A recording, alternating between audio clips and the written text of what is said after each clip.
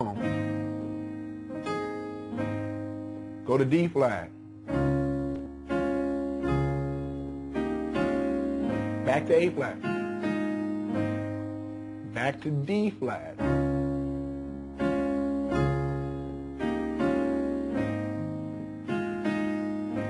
Now we're getting ready to go to E flat to end it. A flat, invert it. Go to F on your bass, end it.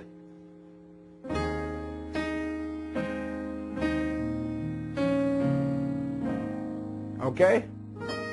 Let's do the ending one more time. Ending.